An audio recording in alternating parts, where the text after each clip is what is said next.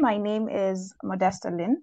I am your moderator for the session today. Um, today we are looking at the unlocking Africa's potential, building an ideal workforce for the um, Africa Continental Free Trade Area success. And um, this is part of the Liberty Sparks webinar series that highlights on the different sectors and different conversations, discussions surrounding the Africa, Free, Africa Continental Free Trade Area. And um, this is specifically this session is going to highlight on the aspect of workforce. And this is stemming from how the AfTA is set to increase economic growth and development, um, and specifically enhancing human development through strengthening inter-African trading. And there has been a bit of concerns here and there, especially when it comes to workforce. Um, as we know, Africa has the largest workforce and most of them consisting of the young people who populate a majority of Africa's um, workforce. So now we, through this session, we're going to be able to highlight um, how we're able to actually build uh, the workforce and addressing some key concerns specifically on how we can build an ideal workforce through the after. So we have our lovely speaker today who uh, I'll give a chance to introduce himself. Um, Mr. Evans, I don't know if you can hear us. Absolutely. Oh, perfect. I don't know if you're able to um, have your video on so that we can be able to see you, put a face. Oh, oh sure. Name, probably.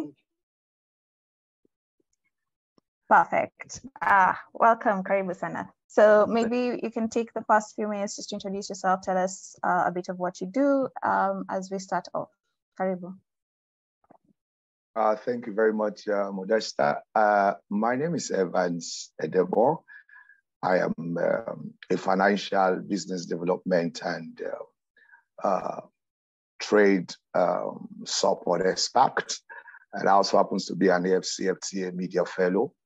Uh, we're primarily engaged in um, promoting the opportunity um, and the impact of the African free trade uh, area. And uh, so far, we've been able to impact more than 20,000 um, uh, SMEs, okay, in terms of um, true um, digital community building, uh, true advocacy and engagement, and then capacity building and all of that. So thank you very much. Good to have uh, thank you for having me in the call today. And thank you for joining us. Uh, I think it's very humbling to have someone who's actually a media fellow for the AfTA and I think this will be a very insightful discussion um, that we'll be able to have tonight. So just to be able to give an overview, today we're going to be tackling the aspects of identifying the workforce needs, the education and training as um, Evans has been able to mention, I mean, he's and I think we're going to explore that further during the conversation. He's talked about aspects of advocacy, capacity building, um, so that aspects of education and training, and then entrepreneurship and innovation, and then collaboration and partnerships. So I think I want to just jump right into it. Um, and this is just stemming from a concern. I think I want to make this uh, interesting to start with. Uh, the after is opening up Africa to the rest of Africans, something that sadly has taken a long time to be to be affected. But I just primarily the concern has been um, since Africa itself has a large um, workforce, are we looking at a situation whereby we'll be having issues surrounding job creation and economic growth when it comes to now the regional integration that AfTA might bring? So just from your perspective, uh, is this a concern we should have in terms of building an ideal workforce? Are we going to issue of too much, uh, too much, too many people in the workforce and too little within the industries, just from your perspective? Absolutely. It is a major concern, it's something we have to look into. Uh, the reason being that if you look at uh, the AFCFT and the way it is designed, okay, as a policy, okay, is a legal instrument, okay, is a policy that created a free trade area. But um, then countries will have to um, will have to become a signatory. So when you become a signatory, so you now have the responsibility, uh, you own it, and also to implement it, to localize it. So you have to come up with strategies, talking about national strategies, national implementation strategies, okay, that will help um, the AFCFTA to benefit the people.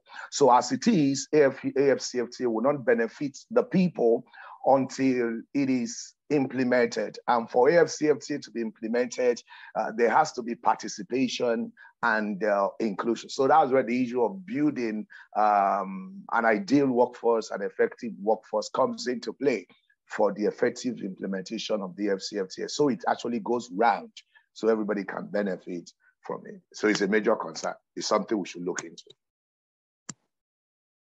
Uh, thank you. And I think this is something that, um, as you've highlighted, it's it might take some time. And I think there's a call for patience a lot of the times, especially for um, the job creation bit. So I just want to hear from you, since you've worked with SMEs especially, um, how can the AfTA contribute to job creation and and economic growth and you know regional integration? Um, and if you have specific success stories when it comes to building the ideal workforce for this, since I know some countries have already um, are already signatories to the AfTA, and some of them have signed some implementation. So maybe from your perspective, especially in the media world, what are the success stories on how the AfTA has contributed to job creation and building ideal workforce for this? All right. Uh, thank you very much. I think before um, I sorry, I, sorry, Evans. Maybe maybe you can have your video, and we'd really love to see you while you speak. All right. Uh, thank you so much. I'm just a little bit concerned about the network. Uh, you know, when the video is on, okay, uh, it's it takes a lot of um, um understandable. That's okay. That's okay. okay. But let's see how it goes. Let's see how it goes. Uh, yes, yes. Just before I, I I talk more, I actually go into the question straight. I want to give you a very practical scenario. Like in Nigeria, for instance, you see the SMEs in Nigeria. There are over 41 million SMEs in Nigeria. These are the ones that have been captured in the database. These are the ones that have been registered. Okay, there are a lot of SMEs that are not there that are in the informal sector, so they are not included in this number. So in this context, let's say over 41 million SMEs. And out of these SMEs, okay, these SMEs, they are creating over 87% of the job you have. You know, Nigeria is one of the largest economy in Africa. Now they're contributing over 87%. And in terms of GDP, they're contributing like um, 49%, right? Then in terms of export, they are just about less than 7% of the total gross export. Why? Because before now, it is um, it's pretty difficult to navigate the African market because before now, the African market uh, was actually uh, fragmented, okay, because uh, there was absence of a framework that should regulate, that should govern trade practices in the continent. But what AFCFTA has come to do is to create a market at the same time to regulate the market, how such market should function, what should govern the market. So as a tool. So now let me quickly mention that you don't expand, you're, you're not contributing so much to the economy in terms of GDP, you're not creating jobs. When you are importing, you're not creating jobs you are only going to be able to create jobs. You're going to be able to expand uh, as a company. You're going to be able to grow and scale when you are exporting. This is because you are going to have to increase your production capacity, your manufacturing. You're going to have to a lot of responsibility by way of how to, going to create a lot of jobs and then get um, uh, people, okay, to do the work. And that's exactly what AFCFTA has come to do for us. Okay, we're actually looking at a huge market of over 1.4 billion African consumers with, uh, with uh, valued at 3.4 trillion USD. Okay, now already um, SMEs, uh, they comprise over more than 60%, okay, in Africa. So it is going to create a lot of jobs. If you see their contribution already, they are creating up to 80% of the total jobs you have in Africa. Okay. And so the moment uh, AFCFTA at full implementation, talking about the various at the national level, each country will have to take responsibility. Once you are a signatory, you have ratified, you have to take a responsibility to implement the AFCFTA. And once that is done, it's going to give them access, it's going to improve their access to, um, to the market. It's going to improve their access to finance. It's going to improve their access to technologies. So it's going to improve their access to capacity building. It's going to improve their access to trade, uh, market intelligence. Is actually going to, they are going to be in a better position to be able to assess opportunities. There are a lot of interventions a lot of intervention in terms of resources, in terms of uh, provision of resources, funding, and, and all of that. So through AFCFTA, it's going to empower them, it's going to enhance their ability to assess these resources, to assess these tools, and then they are going to be able to do more to contribute to the economy. They are going to be able to export, they're going to increase their production, they're going to be able to scale into new market opportunities and frontiers across the free trade area. Uh, thank you so much. And I think uh, I really love how you also add um, figures and stats just to be able to give paint a picture into just how impactful the FTA might actually be for Africa. And the fact that um, it's really sad to see that despite the fact that SMEs contribute 87% of the workforce, we're only exporting 7%. And um, just to be able to um, tap onto that, uh, I think you've highlighted on aspects of um, scaling up, especially uh, with this framework. Mm-hmm. Just to find out from you, um, what kind of skills and competencies will we need to be able to make this effective? Because you're talking about scaling up and you're talking about market intelligence, and all this are, you know, uh, something that we need also as traders, business people, sector developers to be able to know as a cheat code. What kind of skills and competencies would we need to be able to make this effective? Uh, thank you very much. Um, yes, uh, let me quickly add to let me quickly add this. Let me quickly mention this. Uh, I think so far there's been a couple of disruption in terms of the corporate world. Uh, one of them happens to be um, okay. Let me say technology. Okay, uh, there's been a disruption. Technology has been a major disruption. Then also, then following COVID-19, and then I will add that AFCFC happens to be uh, one of the major disruption. Okay, in Africa especially in this part of the world, in Africa. Why? It required businesses to adapt. It doesn't matter whether you are indigenous African business. It doesn't matter whether you are uh, you are a non-resident entity or you're registered as Africa.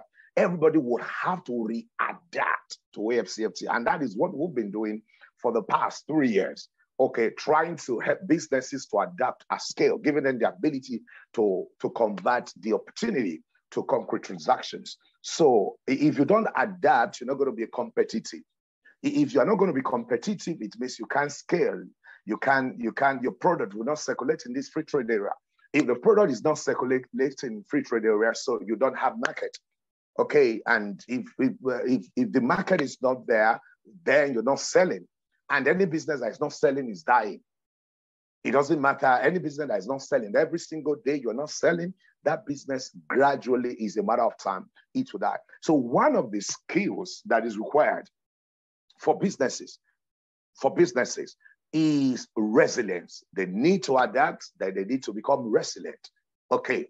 Then another um, skill is okay. Let me come from this perspective.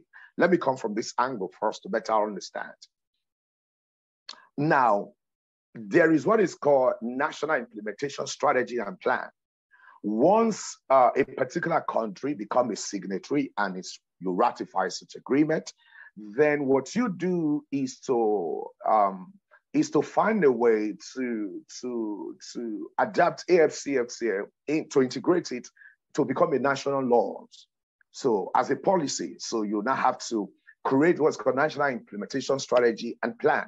This is the blueprint is a blueprint how the FCFT is going to be implemented nationwide in that particular state party.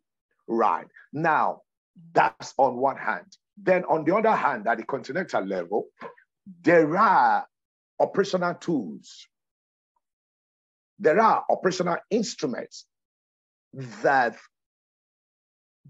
that businesses or that uh, uh, that workforce we have to uh, become proficient. For instance, let me take a very good example. Let's say digital trade. Digital trade. Now, okay, there are two platforms basically that are driving digital trade. Okay, supported by AFCFTA, the African Union, and the Afrexim Bank and UNDP and all of that. Number one, you have the um, uh, you have the uh, African Electronic uh, uh Trade Group, okay, A Trade, that is headquartered in Kigali. Then you have this other uh, uh, African exchange, African Trade Exchange, ATEX, right? So any uh, business or anybody that want to but want to be able to convert the AFCFTA to concrete transaction, you have to be proficient in this area in terms of digital trade. So you need digital trade skills in other as one of the skills that is required. And also I've also mentioned resilience. Uh, then I've, one of the ways to become resilient is to adapt to AFCFTA. If you're going to train, in fact, I've often jokingly, I've told SMEs uh, most of my, during my training, I said, listen, is it that you adapt or you travel out? You can go to US, you can go to you can go to Asia, you can go to Europe, you can go to anywhere. If you don't want to adapt, as long as you want to be part of the AFCFTA, you want to be in Africa, you want to be part of uh, inter-African trade, you want to gain market share, uh, you want to scale, you want to exploit new market frontiers, you, are, you have no option than to adapt. In fact, over here, they say, is it that you change or that business will go down?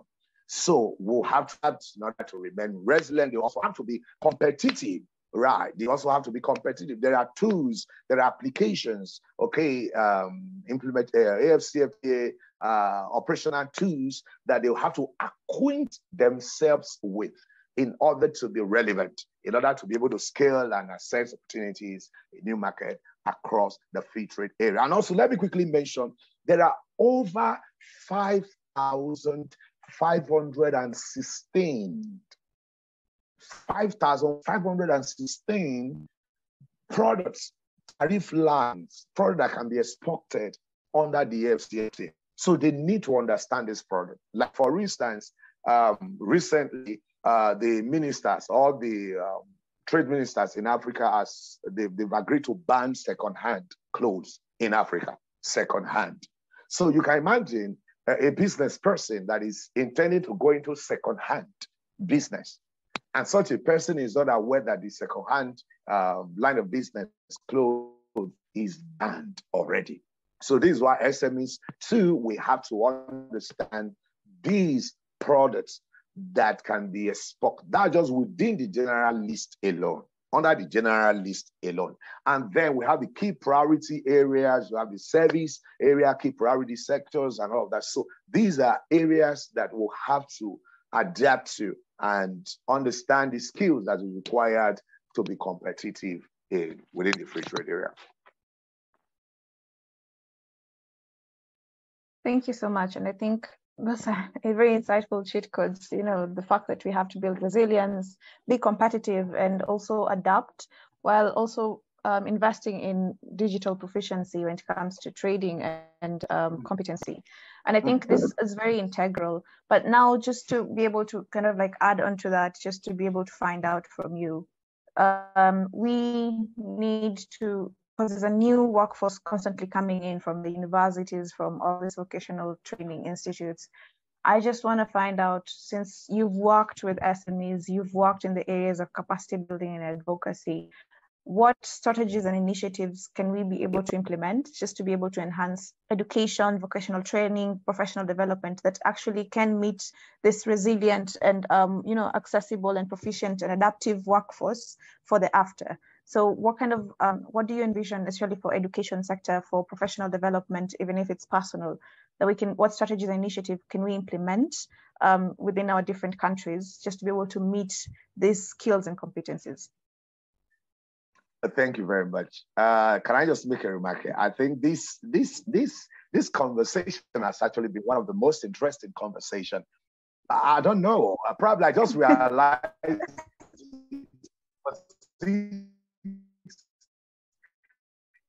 yesterday or before yesterday because I've never had the conversation like this where the points were carefully articulated. Okay, so that makes this uh, conversation very interesting and unique. And so that's why I was so proud to promote um, this. Oh my goodness. Oh, now you just asked a very, uh, do I say sensitive, a very crucial question. A very crucial question. And I'm forced to say it, and I have to say it. I'm going to say it. What I want to share with you is a $1 million strategy. It is a personal strategy. Okay, Dwight is an intellectual property for you to understand.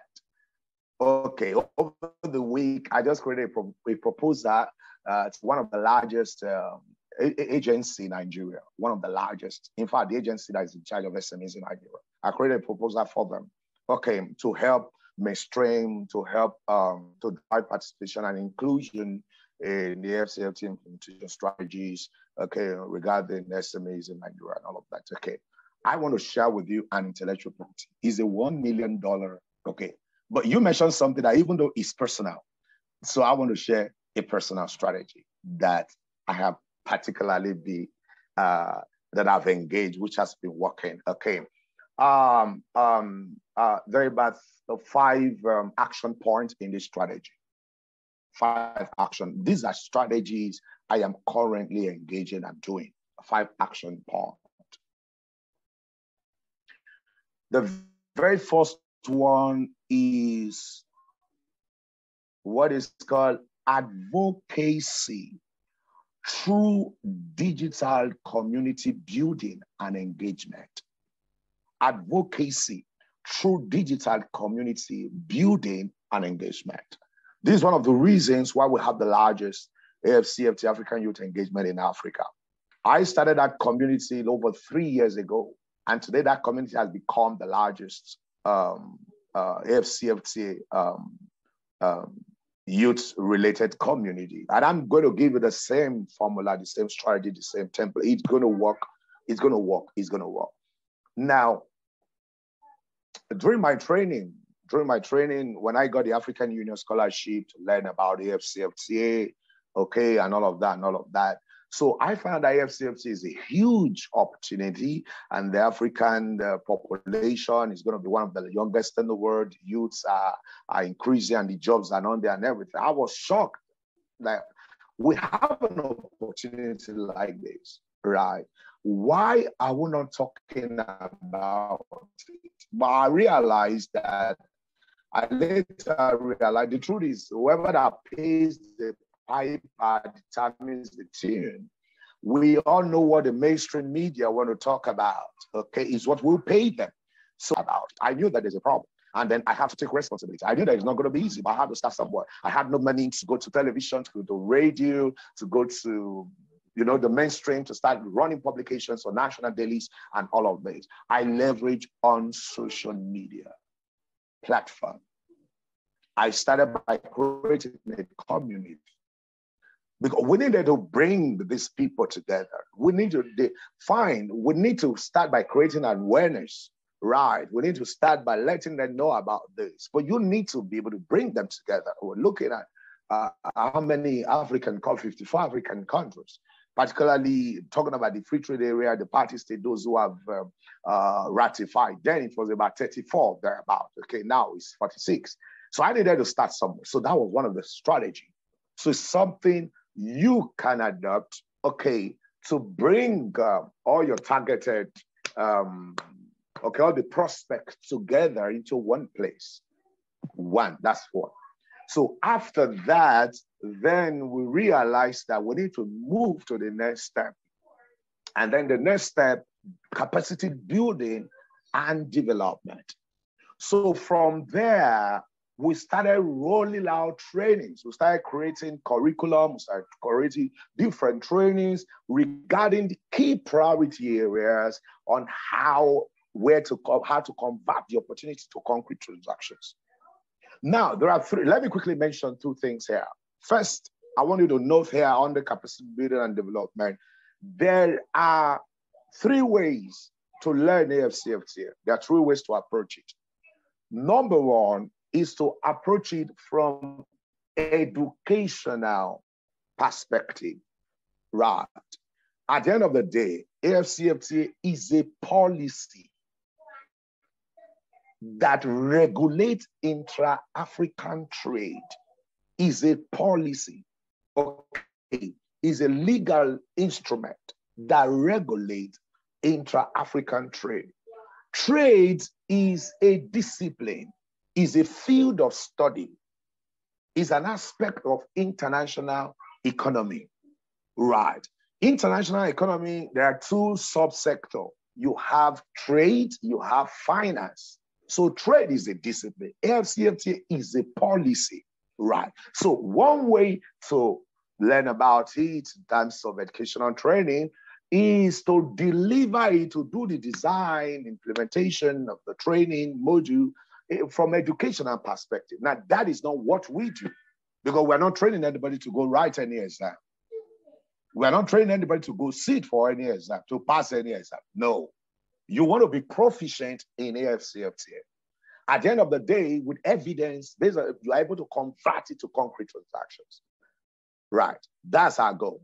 Now, away from education now, okay, those that need it for research, for TSCs, and all of that, good. We are not a training, we are not um, educational institution and all of that. Good. Number two, funny enough, there's no university that is running AFCFTA as a training. Why? Because it's not a feed I say; it's a policy. It's a policy. Now, another second area of running this training is from legal perspective, from legal point of view. Okay, so for those that have been needing it for uh, integration, uh, those that have been leading it in the law court, at the end of the day, is a legal instrument. It's all about law. Is you understand? It's about 77 pages, CFTA. Okay, itself, the document. If they were to hand over that document to you, you can't make anything out of it. If you're not a lawyer or whatever, it's just for reading sake like theory, but it's more than that. Okay, so we don't really, that's not our uh, aspect. Our aspect, our focus, our point is from entrepreneurship, from business perspective. Right. I want to help people to make money from AFCFTA. At the end of the day, it's a trade deal. We're talking about 3.4 trillion USD, a market of 1.4 billion consumers. So the question is, how much of this market share, how much of this money is in your pocket? Are you attracting? And all of that. And also, this is where we're coming from to give them the ability to convert it to concrete transactions. So we care about freelancers. We care about students who will want to have a side hustle. We care about SMEs, formal, informal. We care about businesses. We care about youths, both in trade or those. So we our job is to help them to identify key priorities area where they can convert this opportunity to concrete transactions. After all, we're talking about elevating, uh, we're talking about reducing poverty, creating opportunities, and all of that. There are two ways to measure the effectiveness, the success of any AFCFTA national implementation strategy. Number one, by the quantum of opportunity such strategy is able to create for the people. Number two, by the volume of products, okay, by the volume of uh, export is able to generate. That's it. Every other thing is story. It's an inter- it's, it's something that regulates African trade. So that's our focus. Entrepreneurship, AFCFTA entrepreneurship. How you can convert it to concrete transaction, how you can monetize it, how you can create something out of it. That's uh so having said that, let me also quickly mention in terms of the delivery. Okay, in terms of the delivery, we started with what we call B2C, business to customers, who were dealing directly with SMEs. SMEs with product, product-oriented SMEs, who were dealing with them. So we created a module for them, we created slide for them, we're running training based on key priority areas and based on the key um, uh, sector, service, and product um, that they can export and all of that. Sooner or later, we realize that we're not going to be able to do it ourselves. If really we want to democratize this opportunity, right, we're committed to democratize the opportunity and giving them access. Right. So we realize that we're not going to be do it. We can't do it alone. So that's why I created Pan African Business Lab. Okay as a consortium of professionals, as a consortium, okay, of um, trade support expert consultants so we can do this together. So through that is basically train the trainer. So through that, we are able to train others who will not go and train these SMEs. For the SMEs in Ghana, the SMEs in um, everywhere, in South Africa, in Kenya, in Uganda, and all of that. Okay, so we're able to train professionals across these countries. And so this is why we're able to move so fast. So and to tomorrow we're still running our train the trainer, who we in turn go. So that one we call it B2C, a B2B model business to uh, business. So this is for consultants, these are trade experts and all of that. So this how this is the model I've been able to use under capacity building. And thereafter, the third uh, point under this strategy is support, providing them support. Training is different from support. I have taught you how to do it. You have to take the responsibility. If you are not, if you are not able to do it, I'm going to help you, but then I will charge you this time around. For instance, I have trained you on how to on how to create how to create a export strategy. You want to create export strategy. Okay, I've trained you how to create export strategy, information that you need, and all of that. Just like you have a business plan, you have export development plan or export plan. Now you're asking me to come and help you to do it. There's no problem. I'll give you six months free support. After that six months, you still need more service, of course I'm going to charge. So that is where support is different.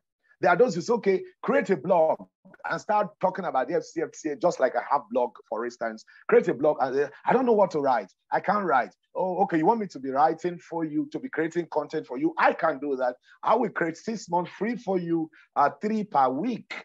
And after that six months per content, I charge you $5. The support. That's three on the strategy. Then four, you move on to digital trade.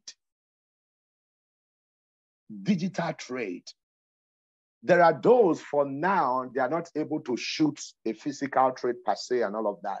So you onboard them, you get them enlisted on digital trade platform, okay, so they can get started. Why number five is what is called trade delegation. Trade delegation. This is where SMEs that have product, confirmed product, whose product align with AFCFTA strategy, with AFCFTA standard and all of that.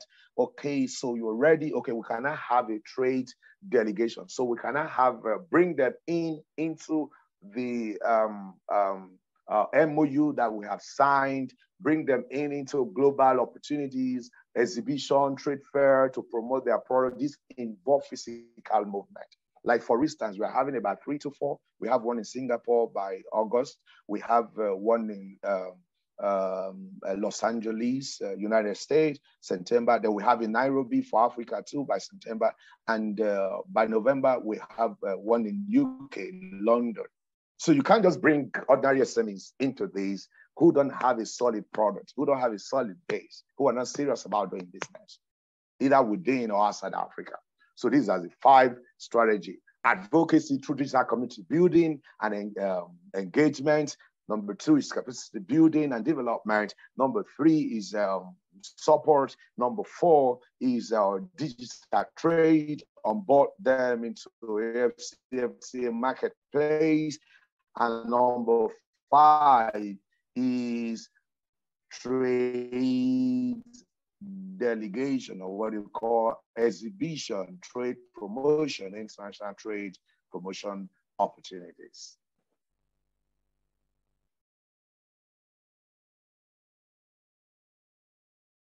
I was I was busy taking notes. yeah. I think I think this this is this is a very good way of just um, highlighting what we need to do in terms of strategies and um, plans, just so we can be able to um, really be um, work on how the AfTA can be able to actually build ideally within our countries. And uh, I think especially when the aspects of advocacy comes in and the fact that you've leveraged on social media is something that I think most of us have not been able to really be able to factor as much. I think um, we've always focused on um, just generic um, industries, generic sectors, and we've forgotten just how much social media can actually be able to help in the implementation of AFTA. And I think I really like that you've been able to highlight this. And the kind of community we are working with when it comes to the new workforce is more social media oriented. So I think there's very good avenues, especially with the capacity building and development, and how you've been able to highlight the different approaches that different people can be able to tap into, you know, the educational, legal, entrepreneurship, um, and just being able to see how we're able to also tap into digital trade and support as well. And I just, I want, just as we, because we are trying to wrap up as well, just so we don't go over time. Now that we have all these action points, and now that we have um, strategies and the framework is really good, and you've mentioned it's 71 pages, not everyone is going to be able to read this. Um, when we come to talk about the workforce now specifically, young people, we're talking about um, entrepreneurs, SMEs, how we, what are the key challenges and opportunities that you've been able to see in your work that can be able to promote or can hinder diversity, inclusion, and equal opportunities within the workforce for the success of the Africa Continental Free Trade Area. And this is specifically looking at a few issues that have been coming up. You know, we're talking about xenophobia in some African countries. We're talking about competition, unhealthy competition being specific. We're talking about um, this conversation that have been arising where countries are trying to see if they can be able to be limited to uh, being focused on one specific sector, one specific um, trade tool or trade goods. So what kind of challenges and opportunities are you envisioning or have you been able to see um, in specifically promoting diversity, inclusion, and equal opportunities within the workforce for the success of AFTA? Uh, thank you very much. Um, thank you very much. I think this is a very interesting conversation, probably because the point has carefully be articulated actually uh, yes, you mentioned a, a, number of very important points. Uh, I just want to uh, make a note of um, a few of them before I move on. Uh, the first thing is to identify um, uh, your market, your target market, your target. So if you're building a workforce, for instance, what market, what product, what sector am I building a workforce for? Now we're talking about verticals and value chains. We have product, we have sector, we have market. These are some of the verticals. Then we're talking about value chain. Okay, a product. So let's pick a particular product, for instance. Let's say coffee, or let's take one of the agro product, for instance. Okay, the resourcing, you have to source the product first. So it's either you are the one cultivating it, is either you have a farm where you're growing it, or you go meet smallholder farmers who are cultivating it. So there is sourcing. So you source for the product. That's number one in the value chain. That's number one, you source. Then number two, there is processing. You process it. It undergoes value addition right? Is it that you're doing it in your within your company, or you're doing it uh, within your uh, region, area, locality, or is even possible you're doing it outside the country to another neighboring country? Yeah. So there's it's the 30%, you move it, okay, addition uh, 60% to add another 30, another person finish it up and all of that. So there is um, processing. Then there is distribution you distribute.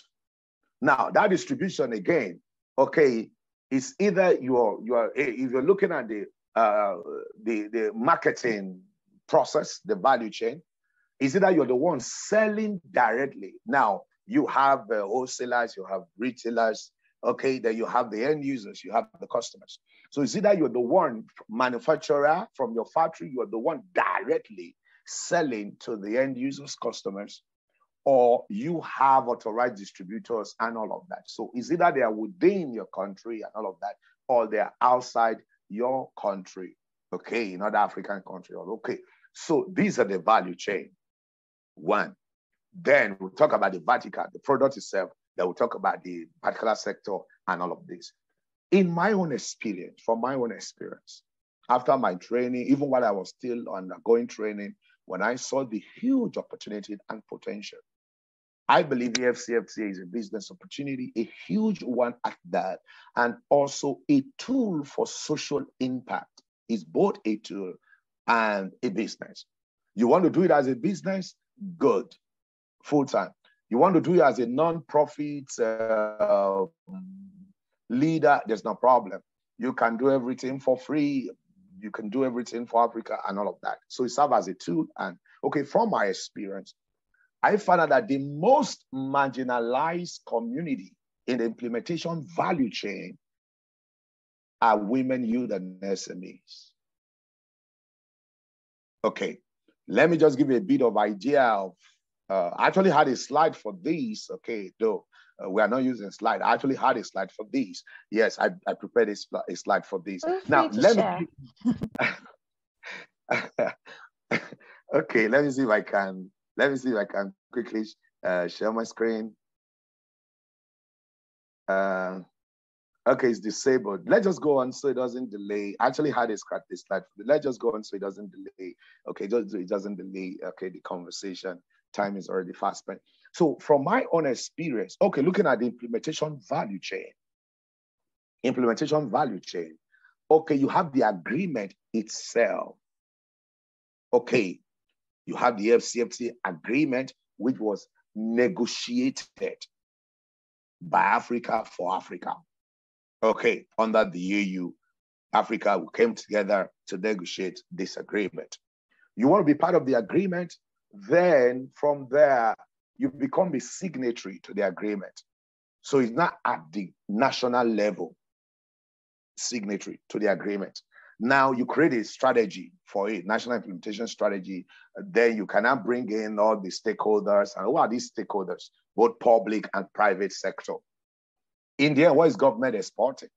Their role is to create the enabling environment, is to policies for businesses to treat. So at the end of the day, it boils down to the real sector, which is the manufacturing, and also the service industry, the service sector, which is also very huge, right? Then in the real sector, you come to uh, SMEs, right?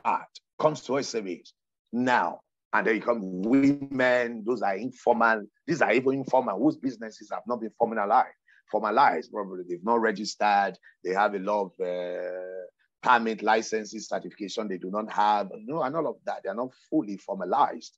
Okay. At the end of the day, the AFCFTA is created for these people.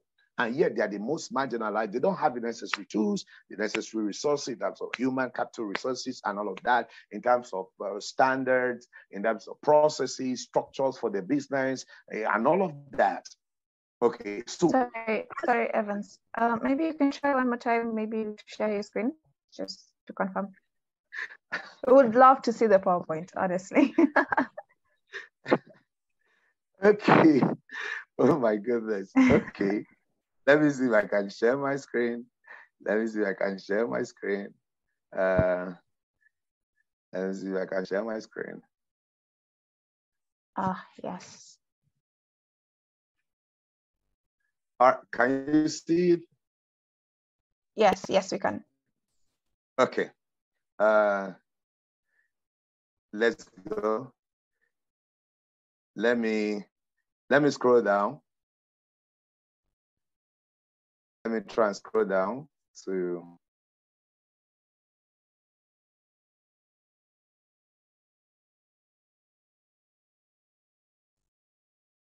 uh, we're looking at um, Okay. In terms of, um, okay, we talked about education already. Okay, yes. Okay, let me just, so we're talking about, so you can see that the SMEs, businesses are the core of AFCFTA. Businesses that are the core of AFCFTA. So I decided to focus on women, youth, and SMEs. Now, often I talked about, I often mention across communities and demographies. Demography has to do with population. So we're looking at the young people in Africa. Basically, we're talking about the youth. Right. Then when we when I mentioned communities, I'm talking about different professional communities. You have the accountant, you have the lawyers, you have the content creators, you have um, exporters, you have um, uh, those in the tourism industry. A lot of them. Okay, but I am focused on women, youth, and SMEs. Try to bring them into the mainstream. Okay, trying to help them formalize, trying to help them learn about the implementation tools. Okay, operational tools and resources, how to leverage on AFCFTA applications, how to get information, market intelligence, and all of that. So basically, this is what I've been doing. So one of the strategy is you want to play in this, um, you want to become a player, identify a community, identify the market sector. You want to do coffee, right? You want to, uh, you want to uh, uh, coffee, you want to drive participation and inclusion regarding uh, businesses in the coffee value chain, beautiful. Right. So if you're looking at lawyers, it's so sad. A lot of lawyers, uh, this is a, a, legal tool in the end, it's a legal instrument. But how many lawyers are even aware of this? That's there. Then you're talking about transporters. Recently, they banned um, second hand. These are huge opportunities for fashionpreneurs, fashionpreneurs, fashion preneurs, fashion and designers. How many of them are aware? How many of them know what is AFCFTA? How many of them are aware that there's a huge market of 3.4 trillion USD? How many of them are aware that they can now scale to over 1.4 billion people? How many of them are aware? How many of them are aware that they can now, there's a huge market for made in Africa, all kinds of Africana fabrics, designs and all that. How many of them are aware? Right. They love, during our training, we give them practical ideas to convert the opportunity to concrete transactions. Uh, one of the ideas we give them is um, um, um, you can do made in Kenya, for instance. Understand what is at stake. We have 1.4 billion uh, uh, con consumers, African consumers. We have a single market. Nigeria want to dominate that market. South Africa want to rule that market. Uh, Kenya want a 50% market share. Uh, Morocco want a 50%. Uh, Ghana want a 70%. So there is a competition. What you can do is to help your people to know about it, learn about it, and give them the ability, help them to trade, to scale by reforming policies, policies that are counterproductive. It has to be reformed or it has to be erased and create new policies that will help them. Ports need to be automated. People, you know, in terms of shipment, inspection, you have to automate a number of uh, uh, processes. In terms of uh, road network, okay, recently, uh, Afrexim Bank, they built uh, a world-class uh, laboratory for product testing, analysis, and all of that. Is a world-class supported by AFCFTA here in Nigeria. People need to be aware of this so that when they send their products, once it is tested, analyzed, they're able to design their, their label, then their branding and everything. And that product can fly anywhere in the world. That's part of the technical barrier to trade. Poor labeling. A product not properly labeled cannot cross national borders. Okay. So the first step is to target a particular market. That this is so if we're looking at students, okay, want to bring students, want to create their awareness, you can start writing by current affairs you don't need any permission from anywhere, anybody to write current affairs by the FCFT, either for undergraduates or final years or these uh, freelancers and all of that. So if you're focusing on maybe bloggers, for instance, okay, there are a lot of AFCFTA information. Information is out there every day, implementation update. And that's what I do in my engagement. If you check my wall, you check my profile, you see it. So that's what I do. I see people are crazy about it, as if you are the one that uh, that that that, that get back to the information. No, you just pick the content too, and then you you know you know copyright like you you in a way words that sells to convert, and that's it. So you have to target a market, and then you when you target a market, you now know the kind of workforce that you want to build for that particular market. In my own case, I've been building uh, trade support experts, trade support. Expert. You want to trade, uh, you want to take part in uh, free trade areas and all of that. These are those that will help to adapt your product, adapt your business. Okay, it's a market that allow free better person, product, goods, services, and investment. But you have to understand how the market work. If you don't understand how the market work, how can you adapt to the market? How can you maximize the market? How can you convert the opportunity to concrete transactions? You'll be making mistakes and it's costly. This is international trade is capital intensive. So we'll be training trade support expert. We'll be training trade um, analysts. We'll be training uh, trade uh, intra-African trade advisors. And these are whatever that will be training and including trainers. These are things students can do leveraging on social media. I use WhatsApp a lot. I use Telegram. I use all of this a lot where we provide training for them, some free, some paid training. So these are what they can but the bottom line is you have to target. I don't do uh do i have a lot of consult big whatever but i am more focused on these SMEs focus on bringing the opportunity to their digital doorstep. So that's what i do. So it is to locate a particular product you want to drive is it um, is it shea butter? Is it um, sesame seed? Is it um, which of the agri product? Which of the agri products you want to drive? Then you look at the entire value chain, and then you start by capacity build. You start by uh, advocacy. Hey, all the cotton manufacturers, all those in the cotton value chain, we are having a training for you. All those in spice, seasonings, value chain, made in African spice seasoning, uh, whatever um, uh, conference, summit. These are what people are doing. Some of my people, these are what they're doing. A lot of them have their blogs uh, where they are, uh, you know, contents and all of that, and they are getting clients. A lot of them are doing uh, trade fairs, exhibitions, doing summit, even though it's just virtual. Right. So if we're saying we're doing for lawyers, how lawyers can convert these opportunities to concrete transactions. We're doing for accountants, how accountant can convert it to concrete transaction. We're doing for those in the transport uh, value chain, in tourism value chain. We're looking at those in just like you. I'm, I'm over 5,000 products. So it's to locate the market that, and then, then that will now guide you on the kind of workforce that you are going to build. You can also adapt same strategy B2B and B2C. As much as you are you are engaging with them directly, you can also be running train the trainers those who also, if you're training, for instance, maybe you start from Kenya, you start from Uganda, they of them in Nigeria. How do you reach a lot of them in Nigeria? So you have to run a training that will train people in Nigeria.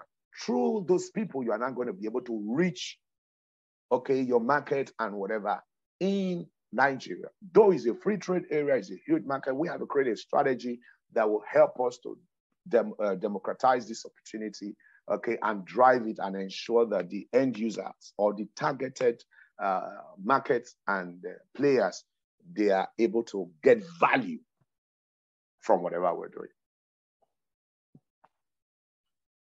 Thank you so much, Evans. And I think this was discussion. This, this bit of the discussion was really um, technical, and uh, just giving us a deeper understanding of what we need to do in terms of building the workforce and also leveraging on different avenues in the value chain system um, aspects of the sectors, value addition, distribution, identifying niche as well. And um, since I see we're running out of time, I just want to give like a few minutes in case anyone has a question, they can just um, either type it on the chat box or also be able to raise their hand. But um, just as we wait for that, maybe Evans, I, since this presentation looks amazing, uh, maybe just give you a few minutes um, if you'd like to just uh, like uh, kind of like a closing remark, anything that we've not been able to highlight that you feel that we need to understand as um, stakeholders in this field, you know, in the field of advocacy training, capacity building, businesses, um, representatives here, SMEs, policymakers, legal officers, so maybe from what you had, um, if maybe there's an aspect that you've not been able to tackle that um, you can be able to tell us about in say two minutes. Yeah. All right, thank you very much. Uh, first, let me begin by, you see my conclusion, I just Africa is talking business, be part of it, right? Then another thing I want to quickly mention is AFCFTA is not a reality, whether by faith, by design, AFCFTA is not a reality and people are cashing out of it big time. Now, let me also do quickly at that AFCFTA requires big and private partnership business model. Okay, both public and private, okay, partnership business model. Okay, you are actually helping your country and helping your people to learn about this opportunity. Whether they learn about it or not, AFCFTA will go on. AFCFTA is not waiting for anybody. Right. You can imagine Nigeria is exporting to you. You are not able to export to Nigeria. You are just importing. It will still be the same problem we are facing from the West. So that's why you have to, as much as possible, to help the people to learn about it, your community, at the same time, making money on the side because there's going to be both paid and unpaid services that you're going to be uh, providing for them. You do not need any special uh, license and special permission or any other thing to do this. It is a policy that you're helping people to learn about it. In fact, they should, they should, they should even be praying for you. Do you know how many people are praying for me?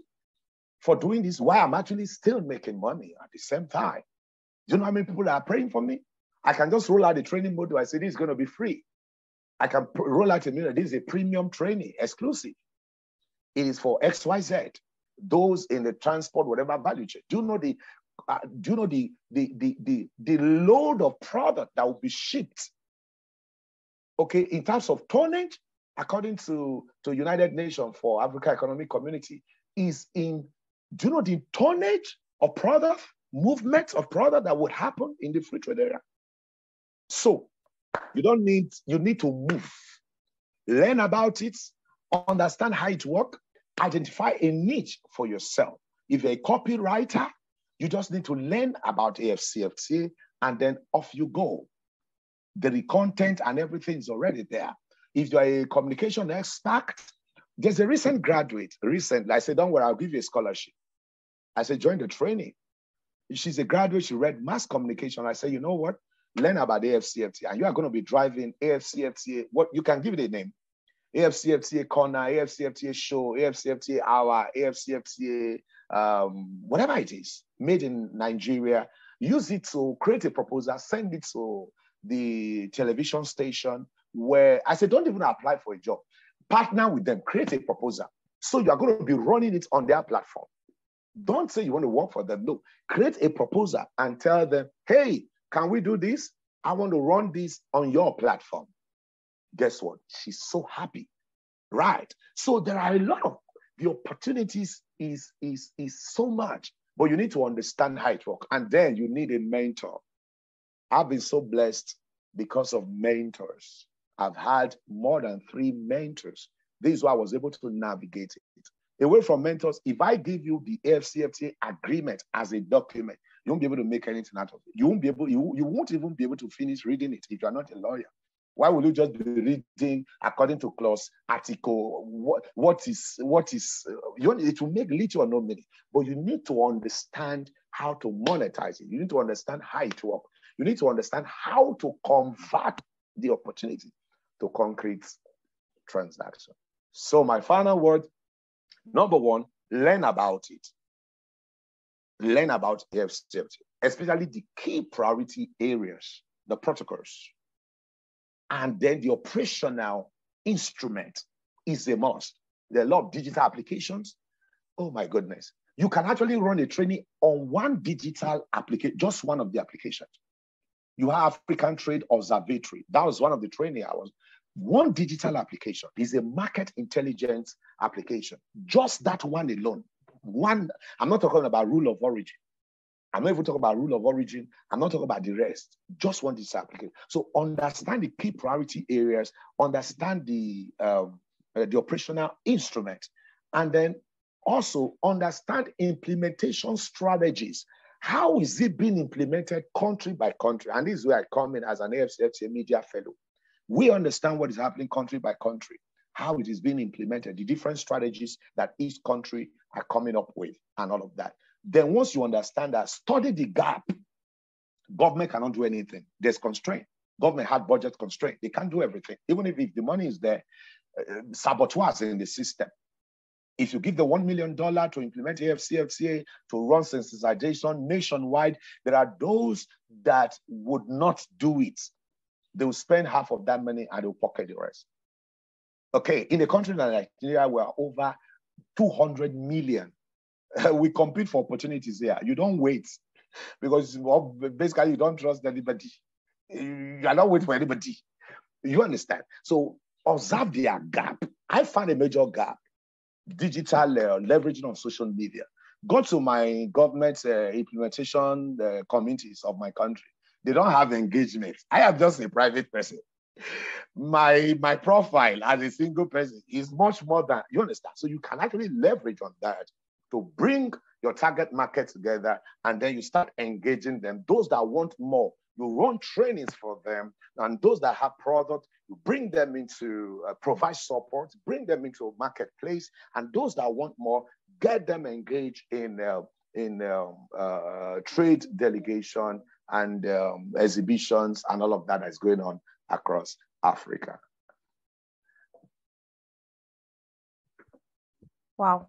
Um, I think this was some of the conversations that um, will never finish in one sitting. And I think one hour was not really enough for this. And um, I think I love the key takeaways, you know, learn about it and find your niche, get a mentorship and run with it. And I think those are my key takeaways from this entire conversation. And also the fact that we need to um, really build the capacity of the different institutions and create strategies and initiatives that allow for the workforce to be able to understand what the AFCFTA is. And I think that in itself creates a new workforce um, within us. Absolutely. So thank you very much, Evans. And um, I'm saying we don't have a question yet or comment. And I think that's because you've been very uh, expressive and you've been very deliberate in your explanation of this process. And I think for me, I have taken a lot to the table just to be able to understand further and just learn more about the different parts of the AFCFTA and just see where my niche maybe will lie. So um, from our end as Liberty Sparks, I think this has been a very insightful conversation. We want to thank you very much, Evans, for your time and for um, your expertise during this session. I also want to thank um, the, our participants who've taken the time, and I know it's very late in most countries, just to be able to um, be part of this conversation, listening in and also contributing. And um, I I think uh, I just want to highlight this conversation does not stop here. We'll be able to upload this on our YouTube page on Liberty Sparks, just to be able to continue the conversation. And in case you want to share with your friends um, who are not able to join in today. So you'll find this will be uploaded in our YouTube. So keep up with our socials on Twitter, Instagram, and as well as Facebook and also YouTube as Liberty Sparks, just to be able to get more insightful conversations such as this one. And we've been running this webinar series since the beginning of the year. So we tackle different sectors, different conversations, um, and also highlighting different issues related to the Africa Continental Free Trade Area. So once again, thank you very much to everyone. Thank you very much, Evans, for your time. And please don't forget to follow us on socials. Um, Evans, feel free to also share on um, maybe the chat box how people can be able to reach out to you in case it's email or any social media pages uh, in the true spirit of digital inclusion, just to be able to further this conversation. All right. Thank you so much. Sure. Uh, I would prefer you can reach me through uh, Liberty Sparks. Okay uh, so that I'm able to engage okay. them properly. Like for instance, if you're telling me, okay, uh, so once you recommend, otherwise I will charge them. I would, uh, you understand? So if they are coming through you, if they are coming through you, say, hey Evans, please, these are our people. See how I would want you to help them and what to do for them. That's different. If they are not coming through you, be sure that I'll give them a bill. If it's not a free whatever, so if they happen to fall yeah. into a free stuff, no problem. If it's not a free stuff, they are definitely going to pay. So let them come through.